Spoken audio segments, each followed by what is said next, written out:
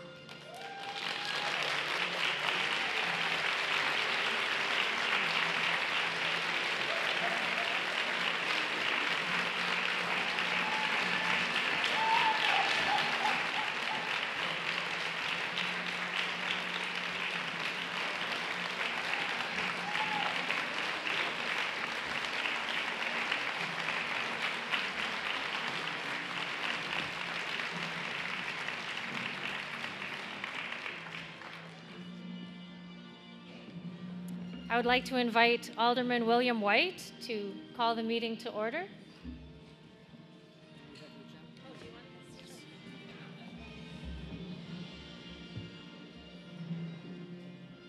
I would like to call this meeting to order. As the first item of business before us now, I would like to invite the Somerville Police Honor Guard and the Somerville Fire Honor Guard to post the colors in this auditorium. Color guard could please come forward, and if everyone could please rise in respect.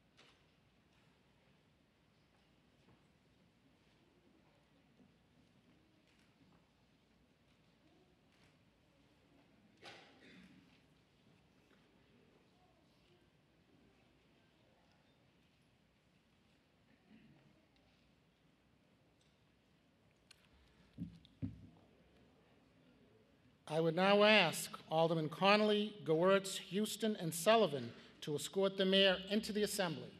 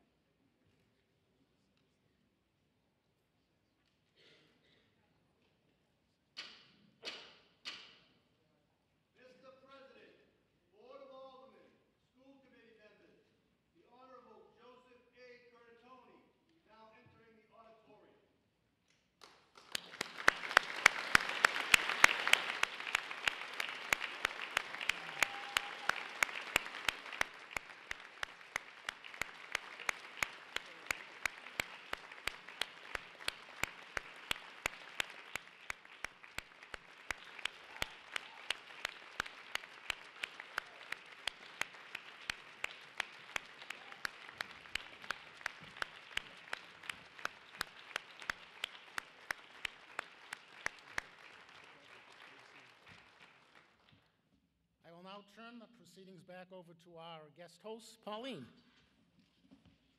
Thank you, Bill. Uh, Would everybody please stay standing, and we will now salute the flag. Where is it? Where is it? Okay, everybody.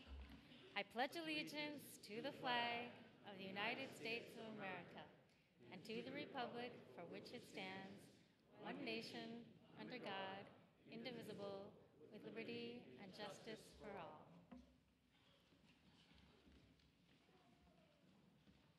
Uh, everybody, please stay standing because now we will hear from Somerville High School senior Francesca Zimmerman, who will sing the national anthem. Francesca?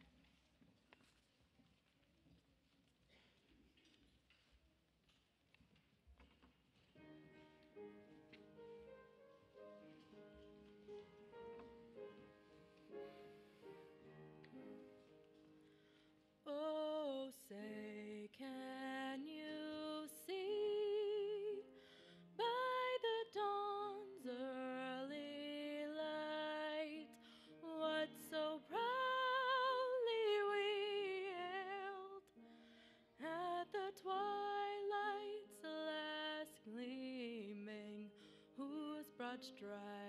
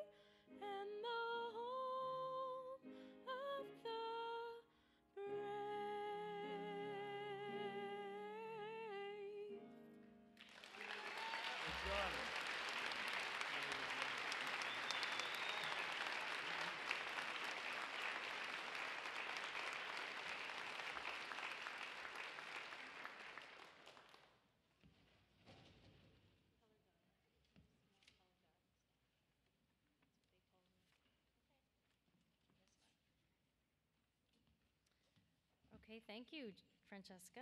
Um, next, I would like to invite Reverend Justin Hildebrand of Connection Somerville to the podium to offer the invocation.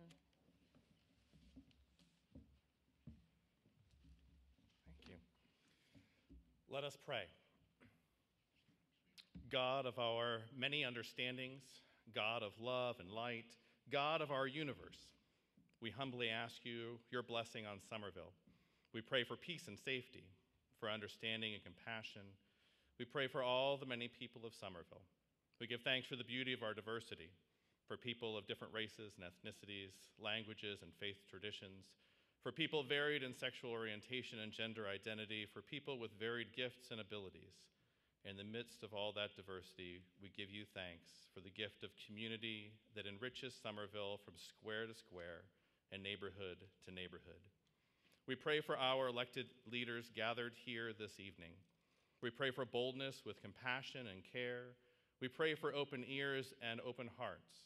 We pray for peace and clarity in the midst of demands and pressures. As we trust them with the leadership of our city, we ask that they be granted the gift of wisdom and discernment. When challenges come that seem insurmountable, surprise them with what can be accomplished when we all work together. Give them hearts for all the people of Somerville, but especially for those who are in need, that no portion of Somerville might go unseen, unheard, or forgotten. Bless our cities, our city and its leaders, O God. Amen.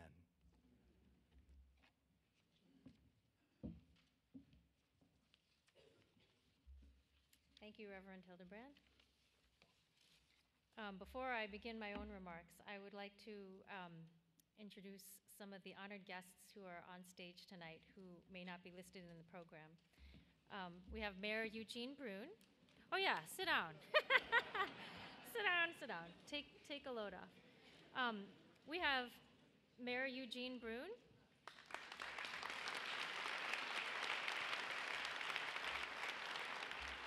Mayor Dorothy Kelly Gay. Representative Timothy Toomey. And Senator Pat Jehlen. Welcome. Thanks for being here. Um, my name is Pauline Lim, and I am an artist and musician who lives and works at the Brick Bottom Artist Building. I've been a resident of Somerville since 1988 and of Brick Bottom since 1989. I'm the director of Brick Bottom Open Studios, which has happened every November for the past 26 years. I was really surprised and honored to be invited to MC this ceremony. It was frankly surreal. Um, they said I represented a bit of the spirit of Somerville, but honestly, I am a total goofball. All right, I'm mentally unstable wacko. And I pictured myself going to you all, ladies and gentlemen, welcome to the 75th annual Hunger Games. I just couldn't resist doing that. So I started thinking, wow, maybe if Mayor Joe keeps getting reelected, the inaugural MCs he invites in the future will be more and more bizarre. this is probably part of Mayor Joe's epic conceptual art piece that's been years in the making. After all, this is his sixth inauguration, which is unprecedented in the city's history. So,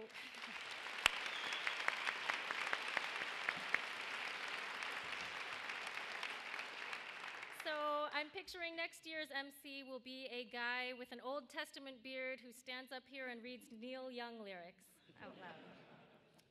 So clearly, I'm not big on solemnity, and this is a solemn occasion, but I figured since they asked me, I'll at least just try to forego swear words as much as I love them. As an artist, I pledged myself to tell the truth, and that's usually the opposite of politics, sadly. However, I'm here tonight because I truly am proud to proclaim my love for this wonderful city. It has been amazing.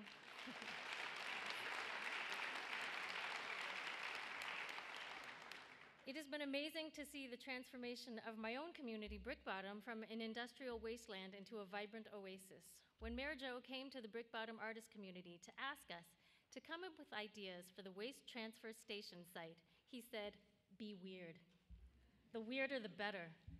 Could he have given better advice to a bunch of weirdos? we feel loved by the mayor and by our alderman, Marion Heuston. And so we love them back. They watch our back, so we watch theirs. Similar success has been happening just down the street in Union Square, thanks to the efforts of Union Square Main Streets, the Somerville Arts Council, Arts Union, and others. I remember when a few years ago, Rachel Strutt of the Arts Council told me that they were trying to focus their efforts on Union Square, and just look at it now. It is getting national press as the hottest place to open a new restaurant or the best place to throw a festival. It is exciting to be within walking distance of such a happening place, and we're all within walking distance of it. One of my favorite memories is of Mayor Joe cutting the ribbon at the opening of the Micro Museum in Union Square, a teeny tiny museum with miniature art that had miniature parking on the diagonal set up next to it.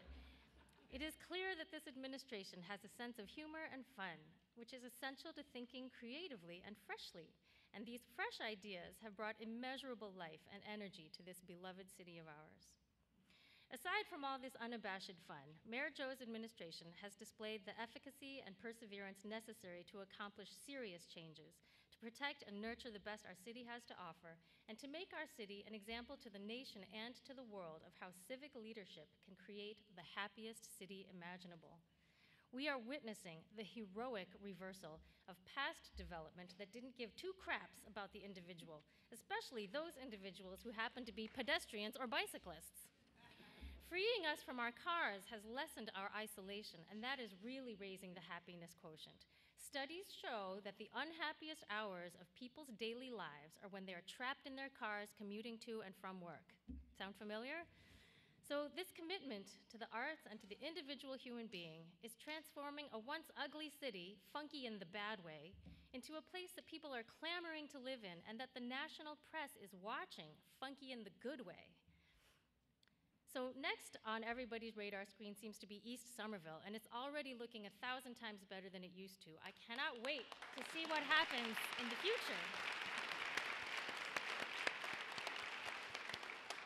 So, I salute all of the incumbents for making this a city that so many of its residents truly love and call home. It is a place of belonging, and that is because it is tended with love and care, neighborhood by neighborhood. I entreat all of you incoming decision makers to think like artists. Enjoy creating this evolving city that you will have a huge part in shaping. Let us continue to be a city of makers. Thank you, everybody.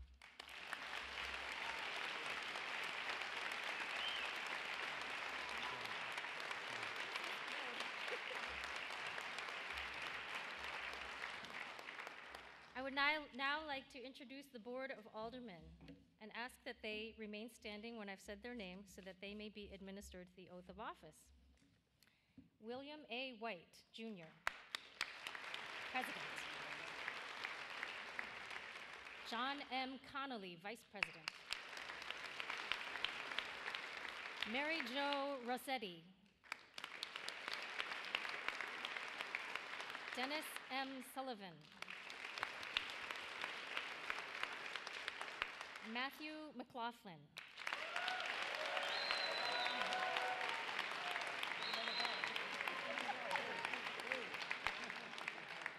Marianne M. Heuston.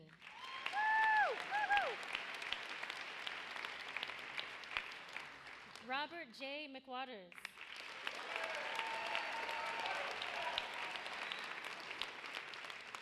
Tony Lafuente.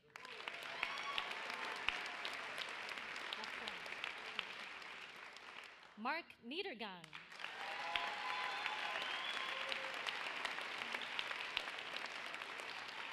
Rebecca Gewirtz.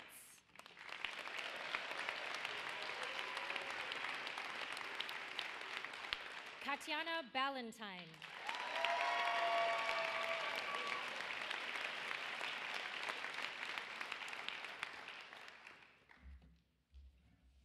So, Judge Flynn, please approach the podium.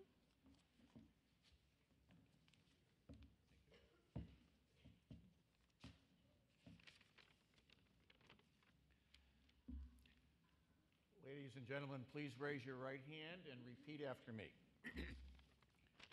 I state your name. Do solemnly swear. That I will bear true faith and allegiance. To the Commonwealth of Massachusetts. And will support the Constitution thereof, so help me God. I state your name again. I, Do solemnly swear and affirm. Do solemnly swear and affirm. That I will faithfully and impartially. That I will faithfully and impartially. Discharge and perform all the duties incumbent on me. Discharge and perform all the duties incumbent upon me.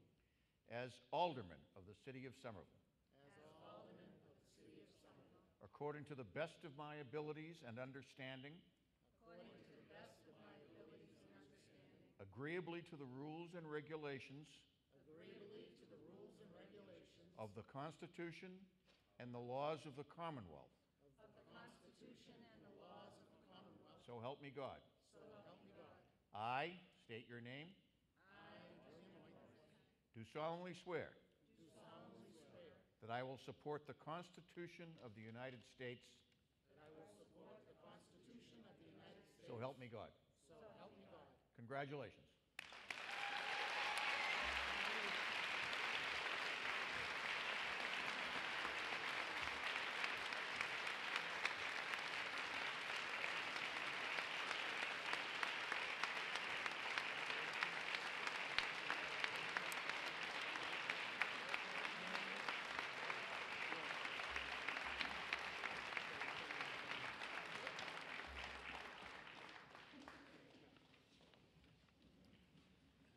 Next, I will introduce the members of the school committee, and I ask that they also remain standing when I call their names to be administered the oath of office. Chairperson Christine Teberge Rafal.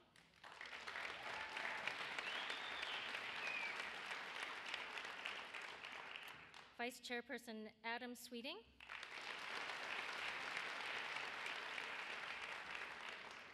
Stephen Roy, or Roy, or Royce.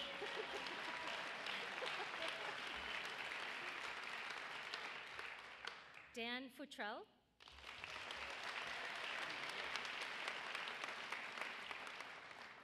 Laura Pitone.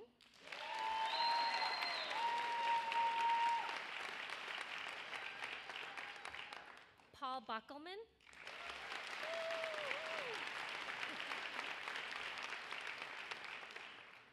Carolyn Lynch Normand.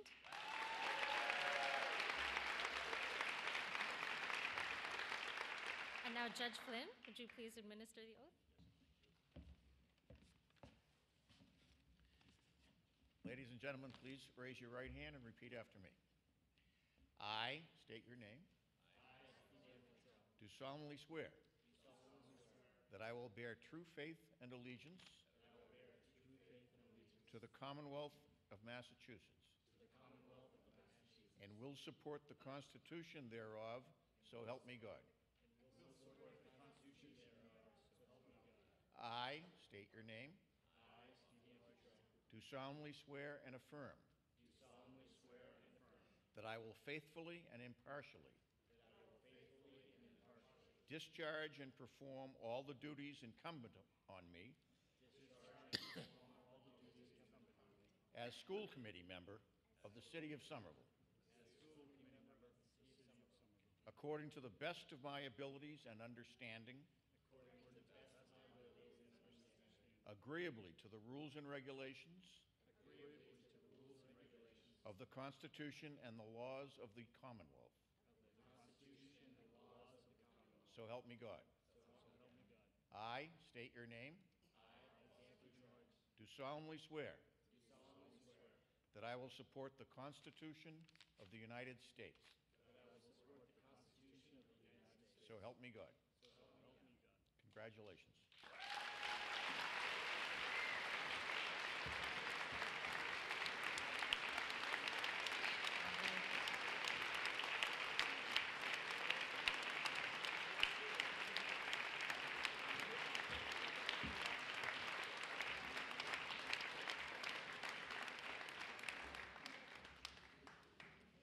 And now I would like to introduce the choir from the Haitian Holy Bible Baptist Church for a musical selection.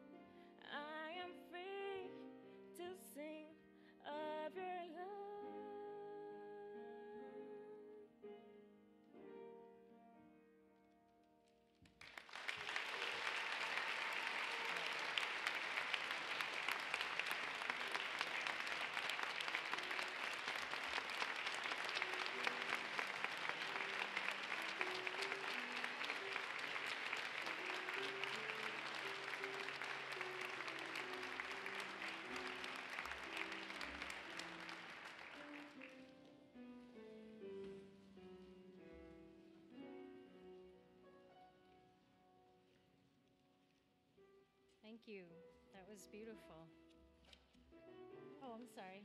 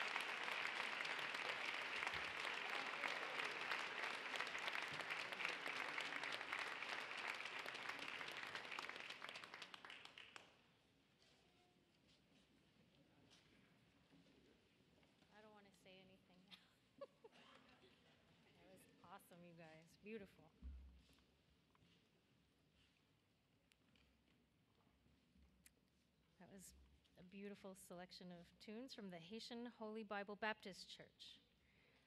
Um, now I would like to introduce the chairperson of the school committee, Christine Rafal. Christine Rafal began serving as the school committee representative to Ward 4 in 2010. She began her education career in Somerville in 1989 and has since devoted her professional life in one way or another to positive youth development. She, that's all right, I can handle it. She and her husband and their two daughters live on Heath Street. That's Heath Street. Okay, Christine. Come on up.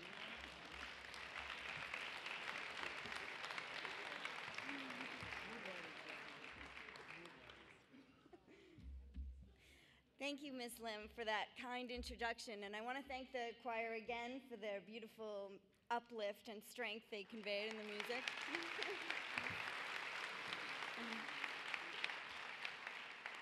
Thank you, Mayor Curtatone and my fellow elected officials. I am honored to share this stage with you. Good evening, everyone. Thank you for braving the weather to celebrate this exciting night and historic moment for our city government. We know we have an unprecedented um, sixth term for a mayor, but how often have we, or have we ever been able to say that half of the school committee is new? We have four returning members and four members elected for the first time, and that adds up to seven. Wait, no, it's true.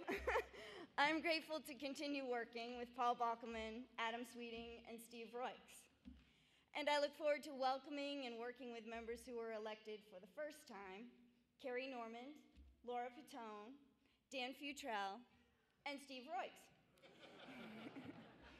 Carrie, Laura, and Dan each bring experience, thoughtfulness, and perspectives that will only enhance this school committee's focus on supporting and advancing Somerville students' achievements. Also unusual this year, both ex officio members are returning, which will provide even more continuity.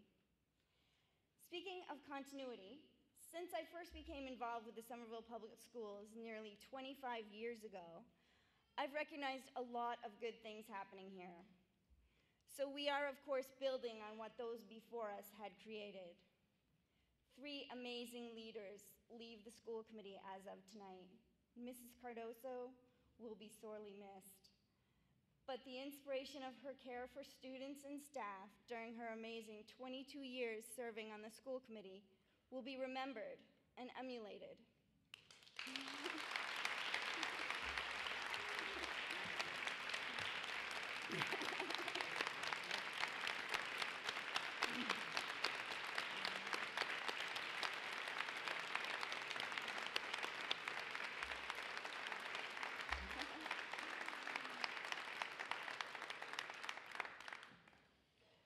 Ms. Rossetti and Mr. Niedergang have moved over to the Board of Aldermen. And while their advocacy and leadership will be missed on the school committee, I have full faith that they will continue to advocate for the needs of Somerville schools and school children from their new seats. Somerville is one city where the mayor, Board of Aldermen, and school committee all work together to support our faculty in making our schools dynamic centers of learning. The mayor's leadership, the Board of Aldermen's financial support, and the school committee's focus on the quality of students' learning experiences are most evident in this beautiful new auditorium in our fantastic East Somerville Community School.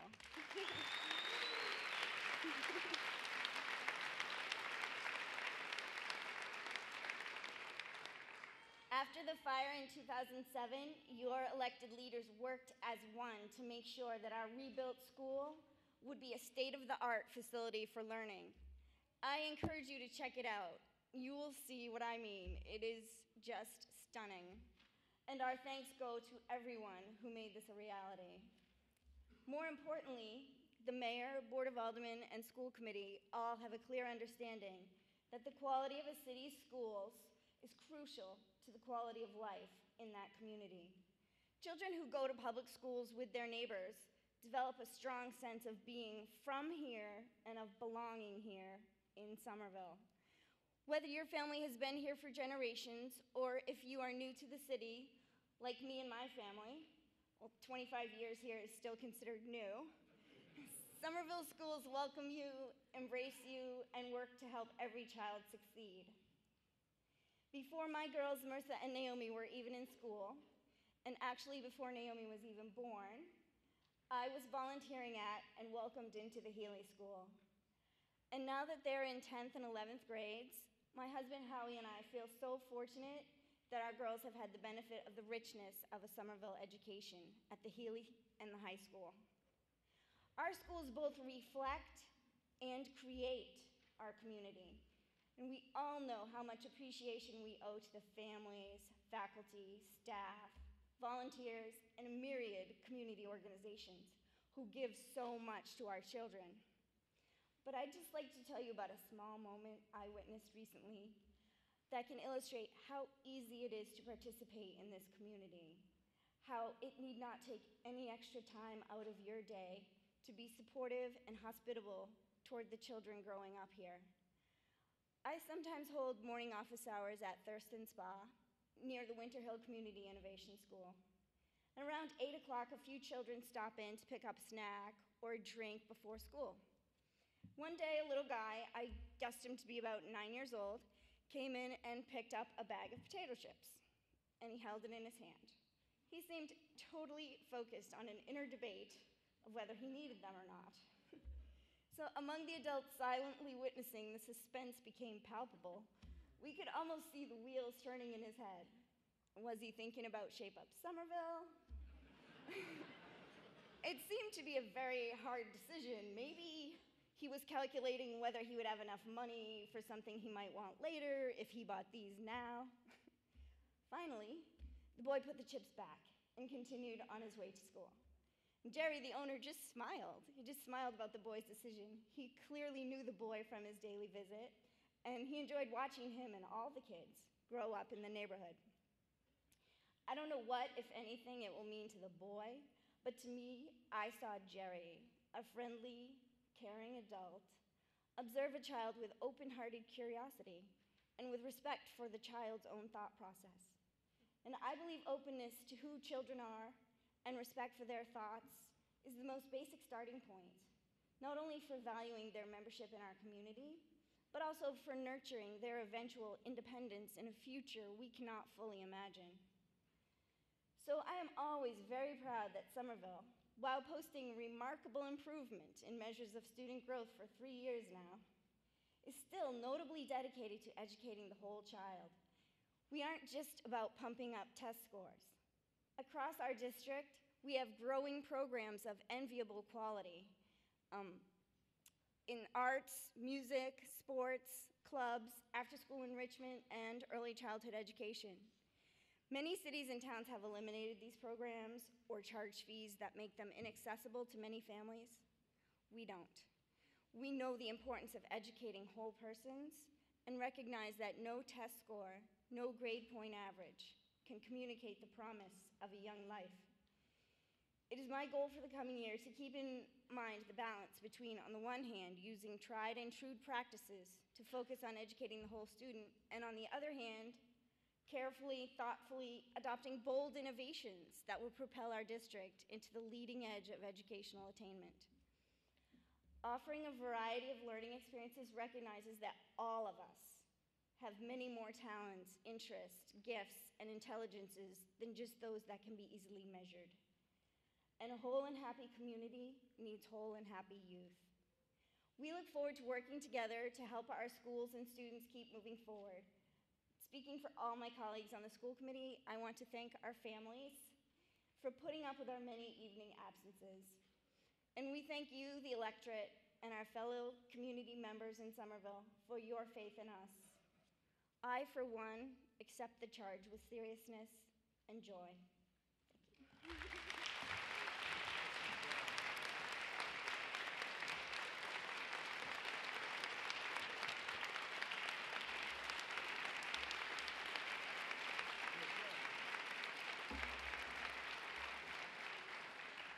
Thank you, Christine. And now I would like to invite Alderman Bill White back up to the podium for his remarks. Um, Alderman White was born and raised in Somerville and graduated from Somerville High School. He went, yay! he went on to graduate from Harvard College and Georgetown Law. He clerked for a federal judge and has been practicing law for over 30 years. He has his law office in Magoun Square and is beginning his 17th year as an alderman at large.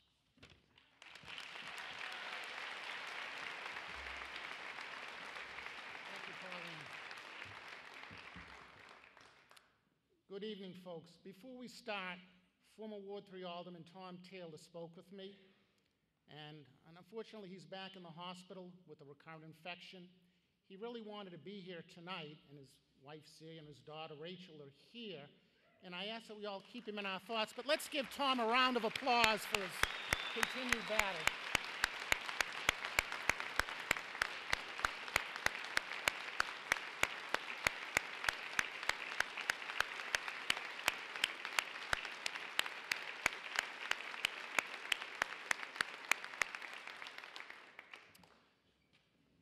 Now, before I begin my canned speech, uh, it, it just struck me that, yes, the mayor is serving, an, uh, this is an unprecedented sixth inaugural, but I'm starting my 17th, 17th year, you're starting your 19th year. So, I mean, at the end of hi- this term for Joe, it'll be 20 years, and, and during our time, we certainly haven't agreed on, any, on everything, but I, I honestly believe that we've really developed a mutual respect and that we're all working together to make this a better city. And I really look forward to presiding over the board next year, to working again with the mayor and, you know, to do even better things. So, Mayor, congratulations.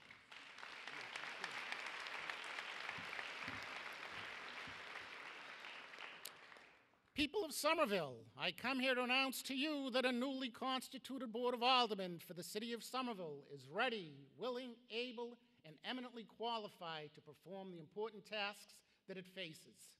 We all look forward to working with the mayor to make Somerville an even better city.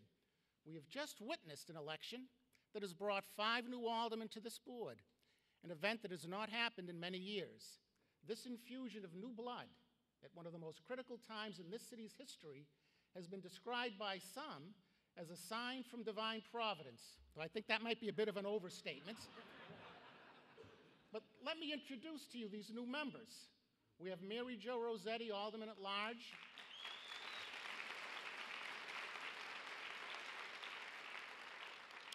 And Mark Niedergang, Alderman from Ward 5.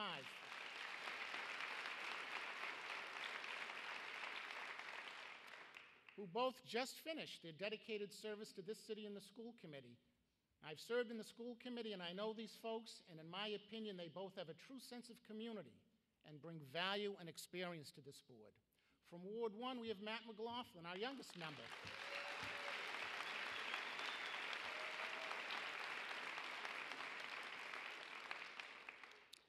Matt was born and raised in Somerville and graduated from Somerville High in 2000, only 27 years after me, um, and served two tours of duty in Iraq.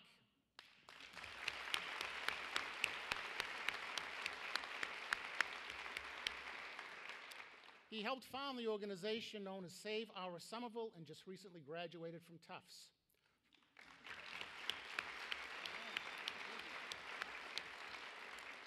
From Ward 3, we have Bob McWatters, who had served as clerk of committees for this board for 18 years.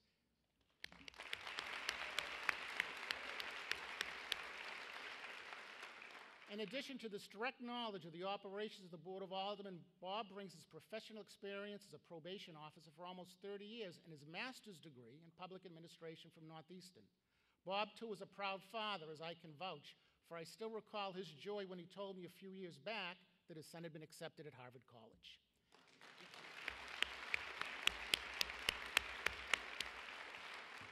And from Ward 7, we have Katjana Ballantyne, a longtime resident of the Teele Square area, who currently serves as executive director of Girls Leap. Prior to running for office, Katjana spent countless hours volunteering in educational and community organizations while raising a family with children in our school system. Katjana also obtained an MBA from Suffolk. It's good to go to the Somerville schools. Tatiana also obtained an MBA from Suffolk and brings valuable business and financial experience to the board. You know, you might ask if I just went a little overboard in stating that this board is facing one of the most critical periods in the city's history, and I'd have to tell you with a straight face that I am not. Folks should realize that at certain periods of a city's history, the decisions of its elected officials can influence the fundamental future of a city for decades to come. Let's think about it. Many folks today talk about transit oriented development, which is locating dense development near transit stops. Well, beginning over 125 years ago, when local rail stops and streetcar lines came to our city, our city became ripe for real estate speculation and development. Back then, the decisions of our predecessors to open the city up to unregu- unregulated development with small lots and multifamily units and little green space resulted in our city becoming the most densely populated city in the U.S. by 1930. Our entire city was a transit oriented development before the term even came into existence. This dense city, of course, had its problems, such as overcrowding, little open space, and tenements located near factories. It also, however, provided opportunities for massive numbers of immigrants to find inexpensive housing close to jobs and transit lines and to raise a family. Our schools were teeming with children, and large numbers of families stayed many times for generations right here in our city. This created a strong sense of community, the development of Somerville pride. Of course, we can't look at the past with rose colored glasses. You know, we suffered tremendously as a result of suburbanization. As many folks fled our city, housing became substandard in some parts, our squares deteriorated, and businesses suffered.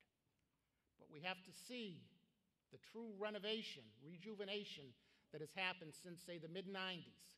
Our fortune has really changed to becoming one of the most desirable places in the Boston area.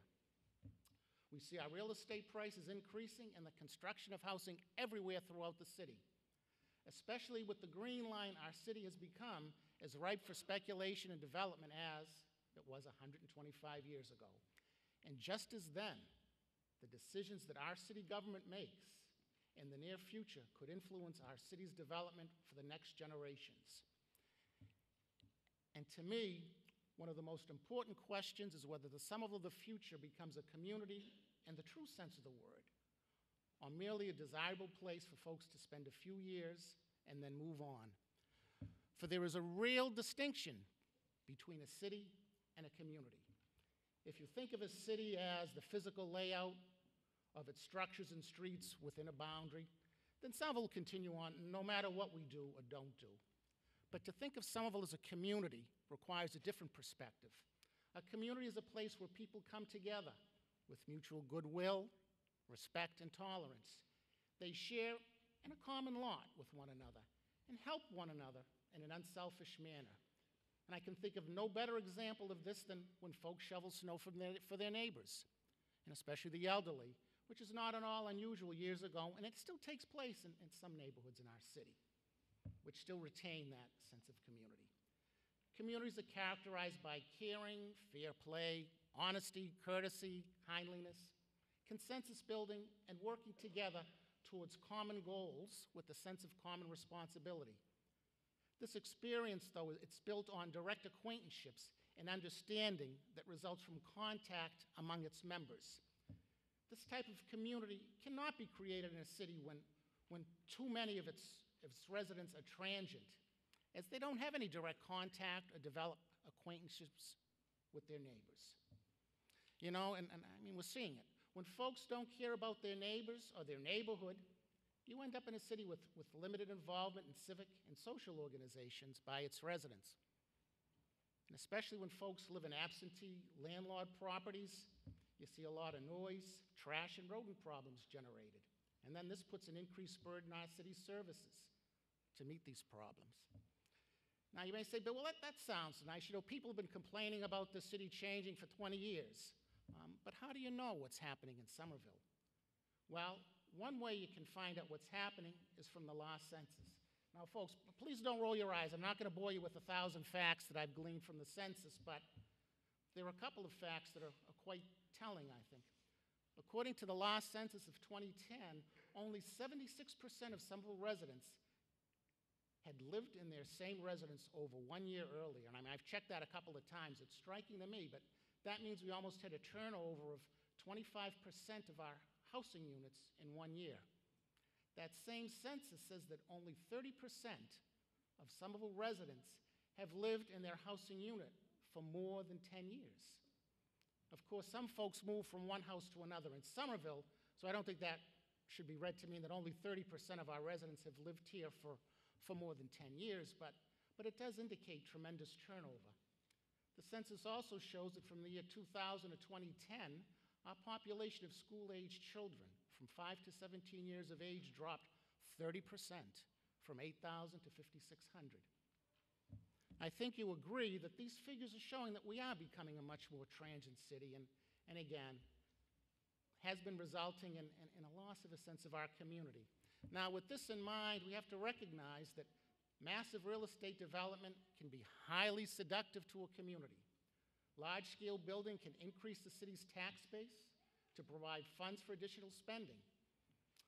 Also, you know, as an elected official who likes the camera, it's, it's hard to refuse attending a groundbreaking with photographs for a major development.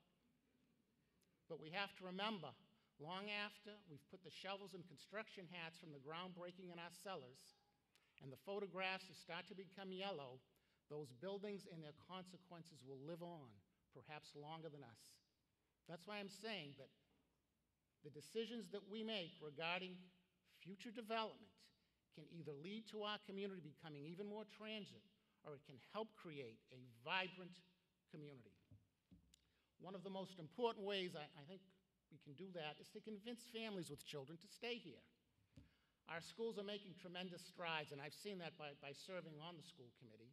Um, and there is an increase in early year enrollment. But we need to create a housing stock with more two and three bedroom units to accommodate those families.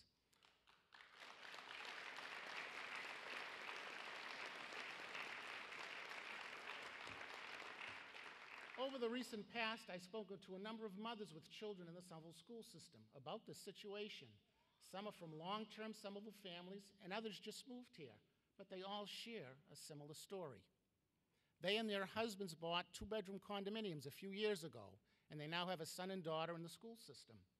They recognize that their children will need separate bedrooms in the near future and are actively looking for three bedroom units in Somerville because they want to stay here, but they're finding it difficult to locate reasonably affordable units in the city, and many of them fear that they're going to have to move out of the city and, and take their kids out of the school system. I would probably guess that we may have hundreds of young families in a similar situation, and maybe that's one of the reasons, you know, to explain our drop in, in school-age population by, by 30%. Now, examining our zoning and affordable housing policies to promote the creation of multi-bedroom housing, and not single bedroom or micro units could go a long way in creating housing that would increase our population of long term residents. I think another thing we have to look at is enacting policies that don't cause our current residents to move. Many folks consciously made the decision to move to Somerville instead of other communities because of our current density that's balanced between neighborhoods and squares. We must be careful that we do not create additional housing especially with massive developments to house short term residents that impact our existing residential neighborhoods and drive current residents away. For if they move, who'll take their place? Will it be folks who want to stay here for the long term, or will it even further increase transiency? Definite need for a balance. The mayor and this board agree that we also have to promote good economic development in our city with uses such as office, research and development, and biotech, and the mayor should be commended for bringing partners to Somerville.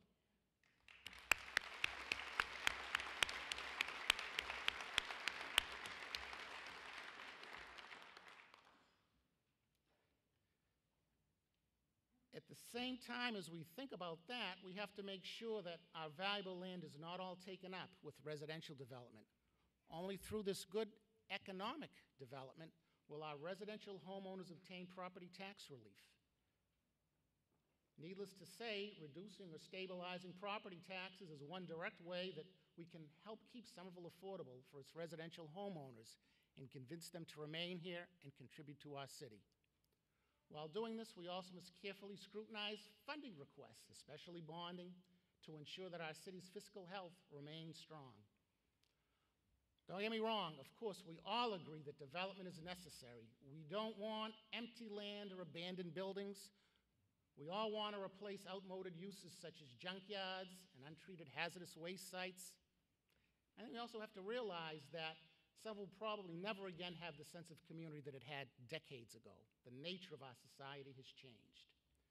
And we cannot, nor should we expect everyone who moves to Somerville want to stay here forever or even for a year. Everyone has the full right to come here and stay here as long as they want. Our obligation is to provide a welcoming community with the tremendous advantages that flow from living here. But I think we should also recognize that as a city, we have spent substantial resources in planning and implementing policies that make our city so attractive for development. I believe that it is therefore right and just for our city to regulate that development so that the city of Somerville will grow as a true community. In preparing this talk, a memory came to me that well, I hadn't thought about in, in ages. As a young child back in 1960, whoop, I'm dating myself again, um, I was riding with my uncle and his elderly father who lived in Somerville, and we were going to the North End to shop. We drove through the government center area of Boston right after the old West End had been cleared by an urban renewal project. This plan demolished 3,000 units of housing and displaced 10,000 people. A large working class neighborhood in which Italian and Jewish immigrants had lived had just become a huge swath of empty land. When he saw it, my uncle's elderly father, who was an Italian immigrant, was visibly shaken. He spoke to my uncle in Italian. When they were through talking, I asked my uncle, you know, what, what happened? What was your, your, father talking about? And he tried to explain it to me, a, a five year old who couldn't quite understand the concept of urban renewal or eminent domain. And then he said his, his elderly father just couldn't fathom the fact that an entire neighborhood had been basically demolished and wiped off the face of the earth. He told me his father kept asking him, Who let this happen? Who let this happen? Now, don't worry, our city is no place, whenever, you know, not, nothing like that is, is clearly in the cards, but the story sort of sends a message. And, and I think about it, probably none of us want to be responsible for creating a sterile city which people visit 20 years from now, shake their heads, and ask, Who let this happen? Certainly, I don't think we want our city to become even more transient with fewer children in our schools, neighbors who don't know one another, and residents with no social, civic, or political involvement. To the contrary, the time has come for all of us to work together to create a landmark city. The task to reinvigorate our sense of community falls squarely on us all. A Somerville that will be admired for managing its growth to revitalize a sense of community among its residents, a shining example for other cities. This board has a tremendous obligation to perform, and I look forward to presiding over it during the next year. Thank you all.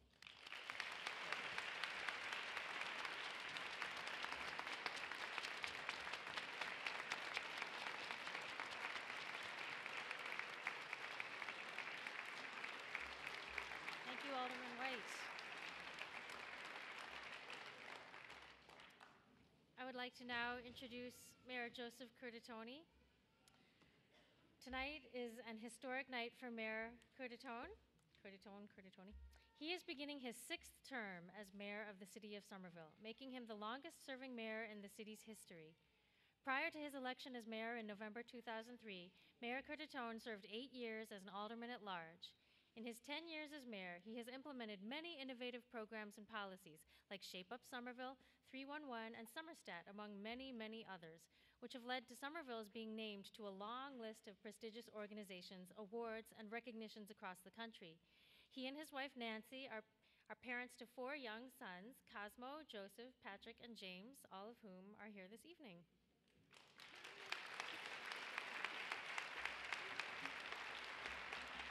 So, Mayor, I invite you up to the podium.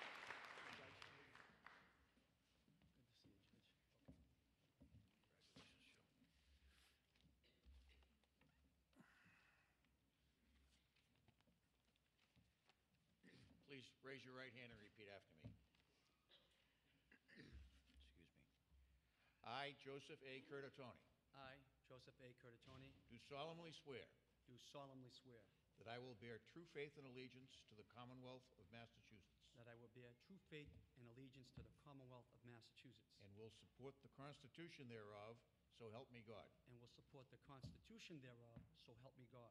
I, Joseph A. Curtatone, I, Joseph A. Curtatone, do solemnly swear and affirm do solemnly swear and affirm that I will faithfully and impartially that I will faithfully and impartially discharge and perform all the duties incumbent on me discharge and perform all the duties incumbent on me as mayor of the city of Somerville, as mayor of the city of Somerville, according to the best of my abilities and understanding, according to the best of my abilities and understanding, agreeably to the rules and regulations agreeably to the rules and regulations of the Constitution and the laws of the Commonwealth. of the Constitution and the laws of the Commonwealth. So help me God. So help me God.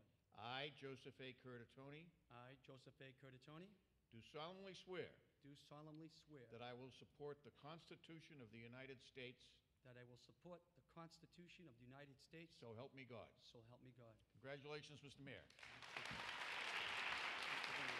Thanks for being here. Good. Yeah, Thank you. Thank you. A. Chairman.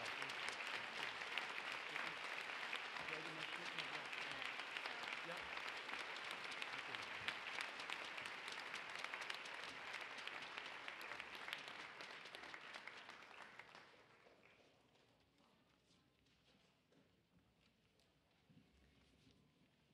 Thank you, Judge Flynn, my good friend. And I want to give Judge Flynn a, a great round of applause.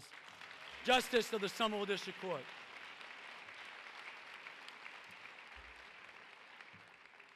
Well, good evening and Happy New Year. Members of the state delegation, President White, Vice President Connolly, Chairperson Rafal, and Vice Chairperson Sweeting, honorable members of the Board of Aldermen and School Committee, Superintendent Pierantozzi, my good friend, former Mayor Brune and Mayor Kelly Gay, honored guests, give them a round of applause, good people.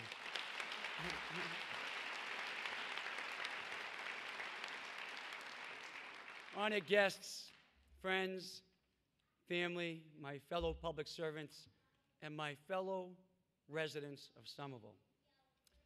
I stand before you this evening in my sixth inaugural as mayor, humbled by the trust you have placed in me and grateful for the opportunity to continue our work of making this city a place of opportunity for everyone. As I uh, look back tonight at what we have accomplished together and what the future holds, I must thank my fellow elected officials who have contributed so much to the work of making Somerville a great place to live, work, play, and raise a family. Thank you very much.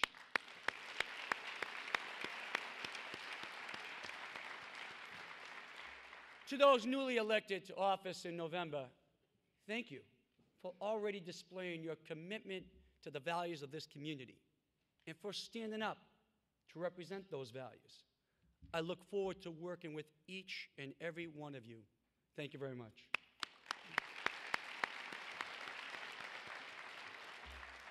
And to those elected officials leaving office, Teresa, I'm looking at you, and others, and I'm thinking of Tom and many more. I in this city owe you a debt of gratitude for your service. Thank you for your dedication and for your contributions to our city.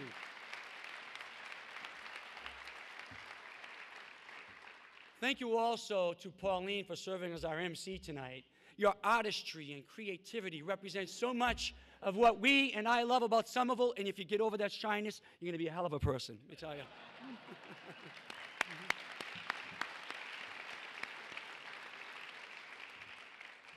Someone once told me, the days are long, but the years are short. And it certainly seems that way over the past decade, both as a father watching my family grow, but also as mayor and watching the city grow. When I stood before you 10 years ago, my son Cosmo was only an infant. Now, Cosmo has three brothers Joey, Patrick, and James, somewhat paying attention here tonight. my, My sons, my wife Nancy, and my mother Maria, and my extended family have given me so much support and understanding over this past decade. In fact, we just got back from a family trip to Lake Placid yesterday. So, my wife, four kids, and I packed into a car with suitcases and supporting equipment for a five hour drive to a kids' hockey tournament. And we faced, as you can imagine, lots of options what to do, where to eat, what movies to watch, which led to some intense debate and serious negotiations. and you know, now that I think of it, my vacation was a lot like my day job. we had fun, didn't we, boys? Didn't we, Mom? Yes, and you won, but I'm glad to be home because I'm always glad to be back in our city.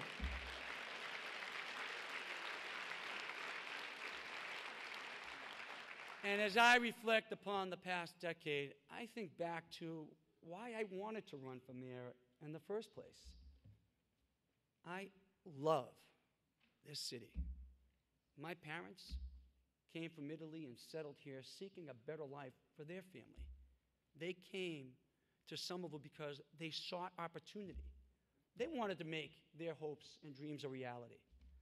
In my neighborhood, was filled with similar stories families from Ireland, Greece, and Portugal. We all came together to pursue our dreams. I remember, I remember this. I remember neighbors leaning over their fences to share their prized tomatoes or freshly grown basil. I remember walking down the street in my neighborhood and hearing different languages from all over the world. I remember carrying my hockey gear in a bag down the street with my friends and kids playing ball in the street while parents chatted on their porches. And somewhere, you could hear someone playing music.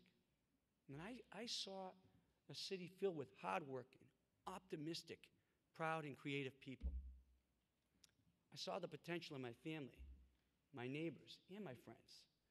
I took in our diversity, all the tastes and smells and sounds from neighborhood shops and squares, and I knew that here, here, we had something uniquely ours.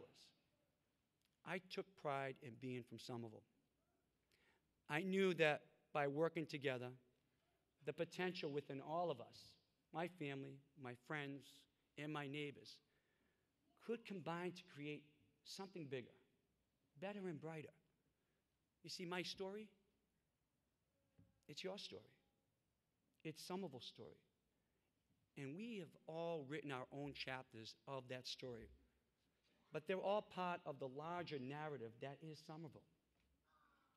It's Alex Whitmore's story. Inspired by his first bite of stone ground chocolate in Mexico, he came to Somerville and started his own chocolate factory, Taza Chocolate, lauded in the gourmet world. It's Sylvia de la Sota's story. She immigrated here from Peru, built up her credit while living in Somerville's affordable housing, and used that credit to get a small business loan and in the face of a tough economy, she decided to pursue her dream. Now she's part of some of those thriving restaurants seen as the owner of Aguacate Verde. It's Tom Bent's story. Born and raised here, Tom graduated from Somerville High School, earned a vocational degree, and then set up shop in his hometown. Now, he's not only the successful owner of Bent Electrical, which offers great jobs in a union shop, he gives his time and passion here in the city and elsewhere. It's Guy Cavalcanti and Jen Martinez's story.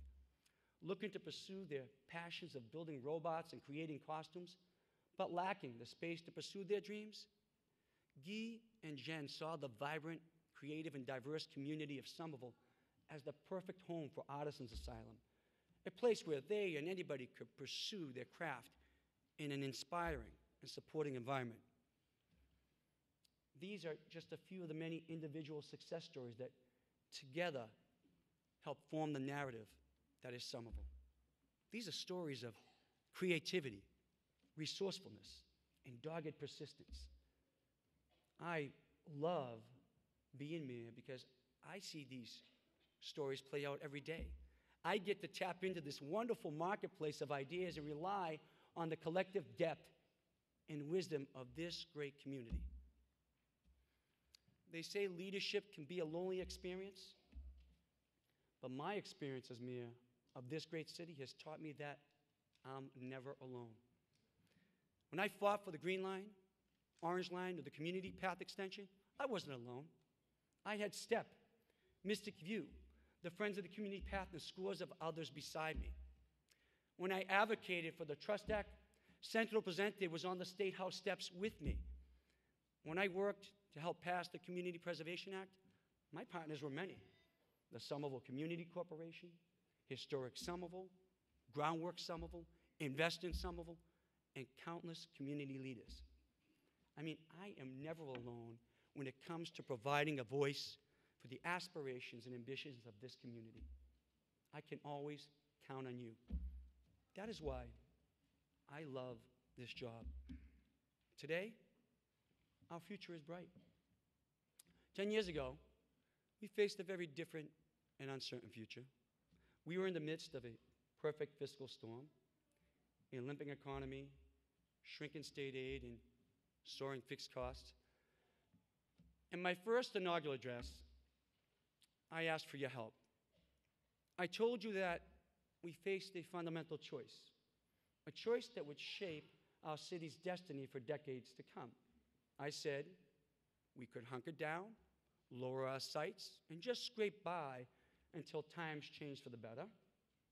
Or we could build on the tradition of pride and progress that have shaped this city's recent history, and we could act decisively to ensure a more vital and prosperous community for our children and ourselves. Ten years later, you know what? We did it. You did it. In fact, we exceeded our expectations. We not only pulled together to face our challenges squarely, we didn't just commit to bold action. And we have made Somerville a model city, a city that others look to because we lead the way. Leaders from across the state, the nation, and internationally, from nonprofit directors to mayors, and even the First Lady, have turned to us for insight into addressing everything from childhood obesity to city management to how to measure resident happiness. I mean, we exceeded our expectations because you chose hope and progress. You chose to invest in our collective future, in our schools, in our neighborhoods, and in each other. We decided to control our own destiny, and we did.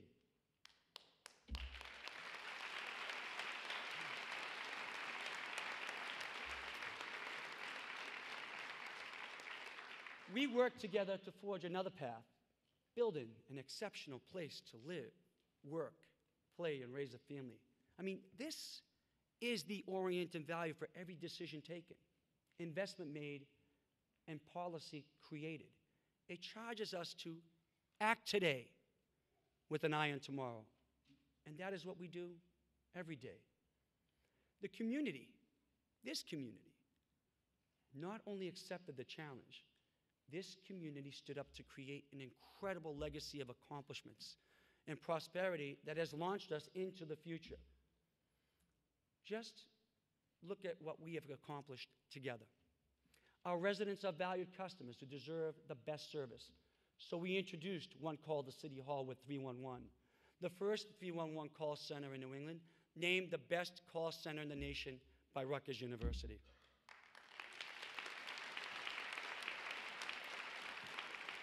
The Boston Globe. The Boston Globe has declared Somerville the best run city in Massachusetts. We have received the highest bond rating on our city's history based on our management practices and on our approach to economic development. Safe neighborhoods. Safe neighborhoods are the foundation of a thriving city. So we reformed the Somerville Police Department into an effective and efficient model of community based policing with a diversified workforce and real results. Crime is down and down significantly.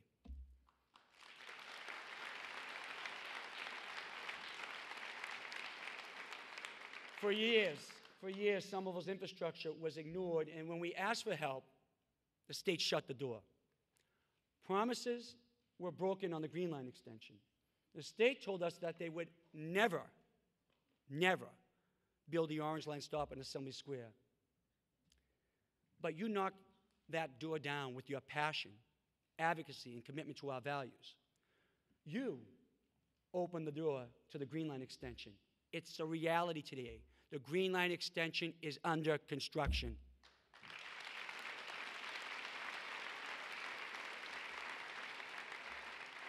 You opened the door to Assembly Square Orange Line Station that will be fully operational this summer.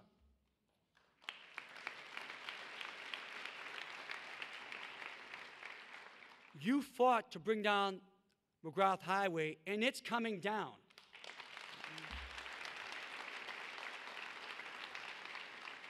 You demanded a city without the blight of a waste transfer station on the skyline.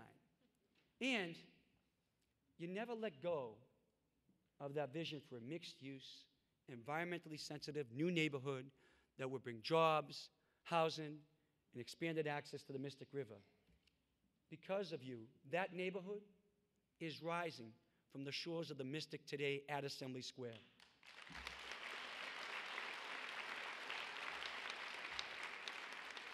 The first doors will open this spring, and as you heard, we have our first anchor office tenant, Partners Healthcare.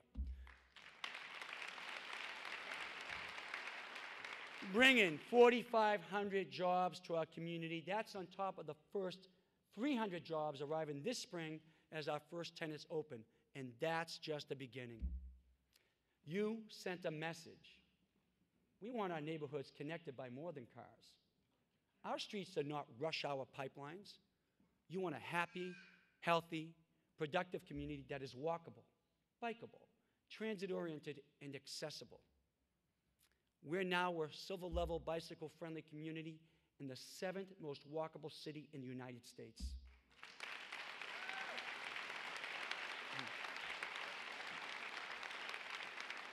We've dedicated ourselves to making this city accessible to all. And we are well on our way to becoming the most walkable, bikeable, transit oriented community in the nation. And the community path extension is underway, and I, I promise you tonight, it will go all the way to Boston.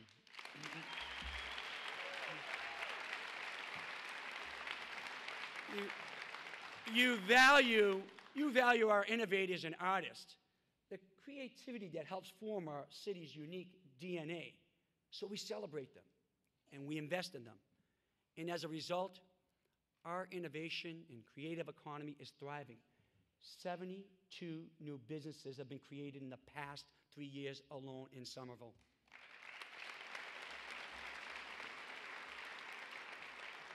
You expect excellence in our schools. Our steady pursuit of that excellence is advancing how our students learn, and they are reaping the benefits, especially in the phenomenal improvement in student growth on the MCAS this past year, which puts Somerville on par with some of the highest performing districts in the Commonwealth.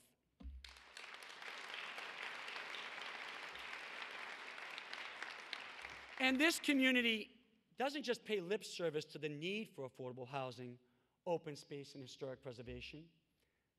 You voted overwhelmingly to support the Community Preservation Act to create more funds for these goals we value.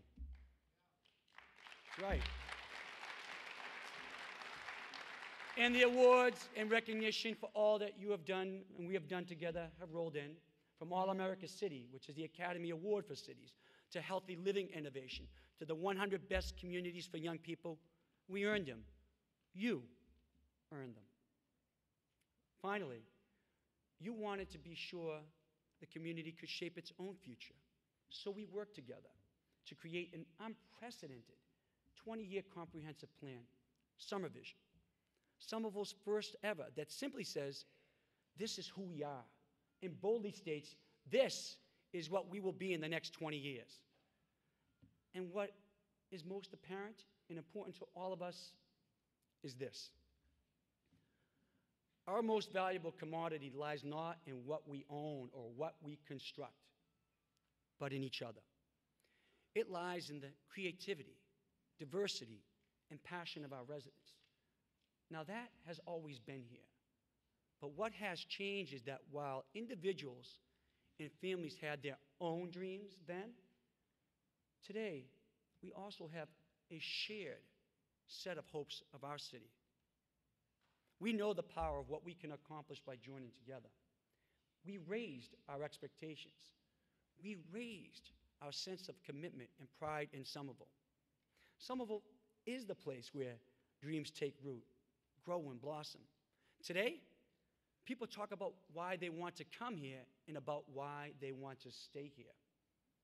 And it's still Somerville. It's still filled with the same creativity and diversity we had when I was growing up. Then neighbors shared their prized tomatoes or freshly grown basil. Hey, today we call that urban agriculture. then you heard different languages from all over the world in my neighborhood. Today we use the terms and embrace the terms diversity and multiculturalism. Then kids played ball in the street, parents chatted on their porches, and people played music in their homes. Today we're weaving that same social fabric through summer streets and Porch Fest, and in our squares and our playgrounds.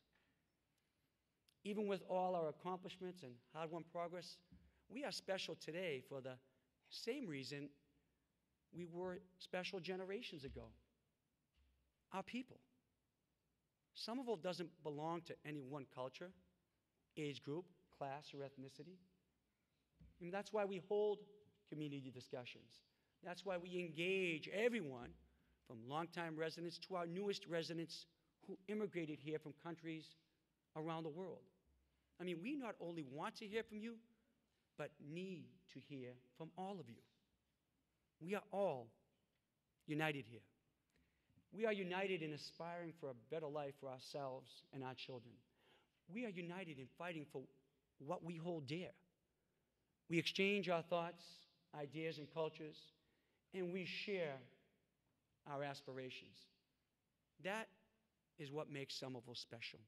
That is our uniqueness, and that is our magic.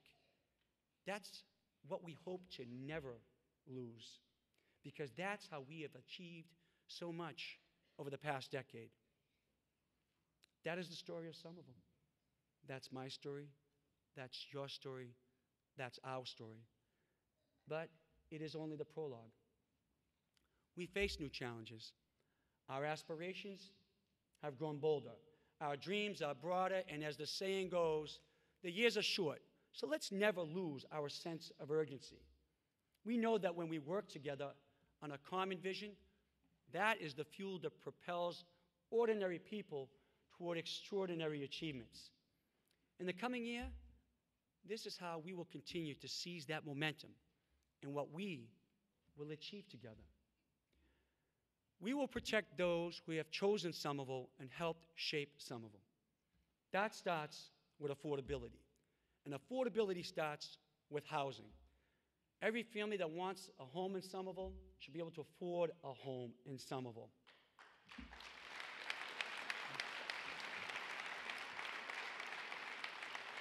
But to make this happen, we must be bold. We must be innovative. We will create a new affordable housing program for working middle class families. We will not leave the middle class behind.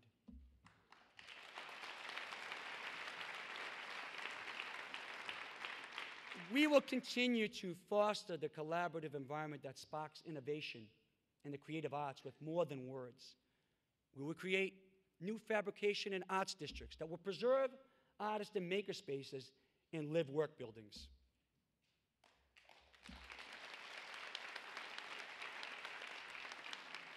As our commercial tax base grows and new industries come to Somerville, we want Somerville jobs for Somerville residents. Once passed by the legislature, our job linkage proposal will enable a fee for development that will support job skills training and career development services. And we would do this, as we do this, with a local agency which will be at our side, hired as a partner to make sure we promote first access to local jobs for Somerville residents.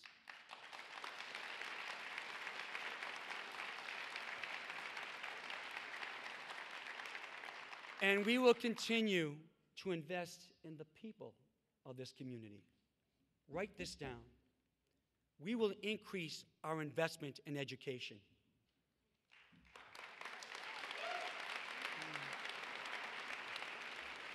We will increase our investment in arts, culture, and recreation.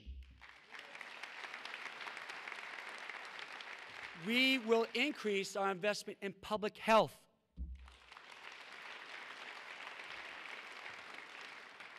These are our values. We will also increase our engagement through a community budgeting process so that when I submit a proposal to the Board of Aldermen, it will be our budget, reflective of what we want to accomplish. But not everything we value is measured in dollars.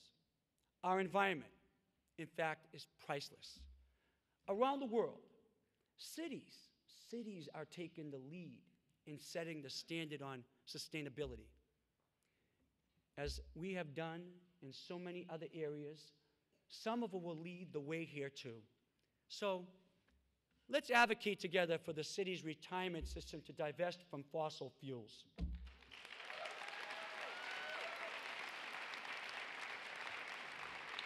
Let's work together and make curbside composting a reality. Let's revive Alderman Gewirtz's proposal to rid our community of plastic bags and pass it.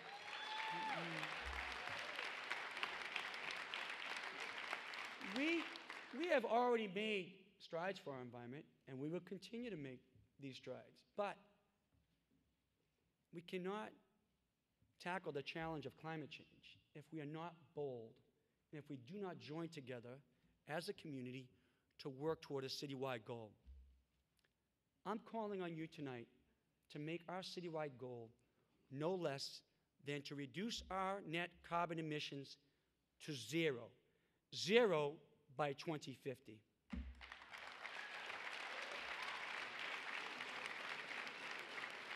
Let, let's make this our longest range investment in our people. I mean, it's an investment in our children and in their children. They deserve no less.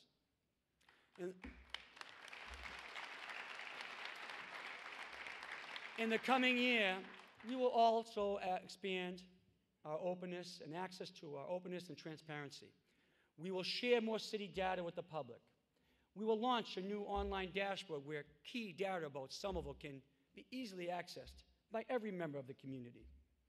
To become more accountable, we will expand our city's ethics ordinance so that Somerville has the toughest ethics laws in Massachusetts.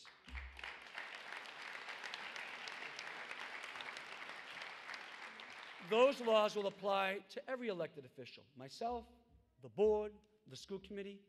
We will ensure accountability and equal access to city government. Everyone should have the same opportunities, not based on who they know, but on the merits. This is the momentum. When I was at, at, out at Lake Placid, I saw a transcrip- transcription on a plaque of Coach Herb Brooks' speech to the 1980 U.S. Olympic hockey team. And he told them this Great moments are born from great opportunity. And that's what you have here tonight. That's what you've earned here tonight. Somerville. These great opportunities are before us. You earned it. This is our moment. Ten years ago, we were a city with hopes and plans. Today, we are a community looking back proudly on our accomplishments. Tomorrow, we begin to seize the opportunities of the next 10 years. And I still see a city filled with hardworking, optimistic, and creative people. I still see the potential in every person I meet, the people who talk to me on the playgrounds and parks, who tell me about their own aspirations. We still have something uniquely ours. And you know, I consider myself a really lucky guy.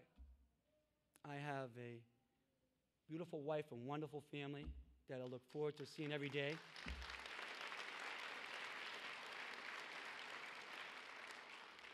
And a job that I look forward to every day because I know the strength, the creativity, and the resiliency of this community and what we are all capable of accomplishing together.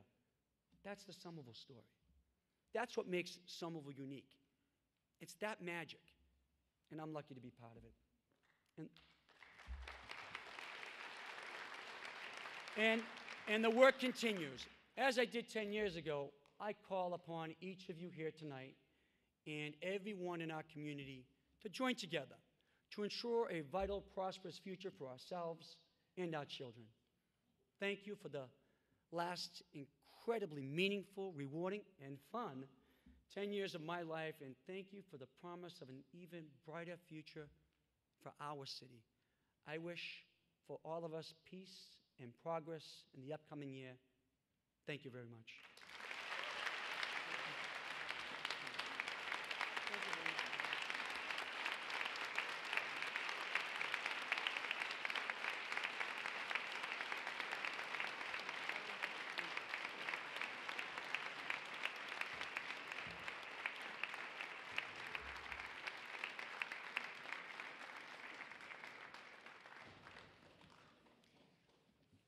I don't say this lightly, but we are blessed, blessed as a city to have such a wonderful mayor, to have a wonderful board of aldermen, and to have a wonderful school committee. I invite you to take some of the hope that you've found here, some of the light, some of the sense of community and vision present here tonight. May we not simply tuck it away but may we instead share it with our neighbors and friends. May we be blessed as we work to make Somerville a city where all people can find welcome, opportunity, education, and a sense of community. Amen.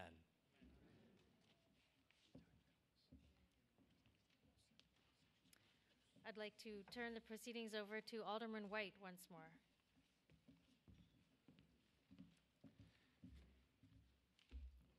What I would ask is the color guard please come forward to retire the colors and that everyone remain standing.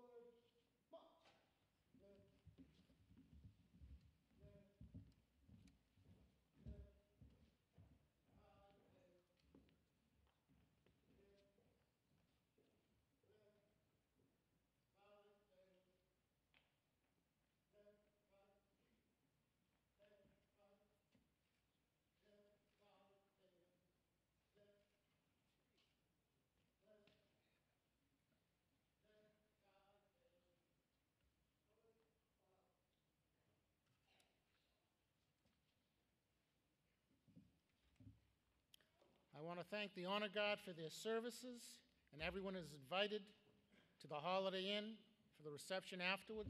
I know Alderman Sullivan, you have the first round for everyone, but I now declare this meeting formally adjourned. Thank you all.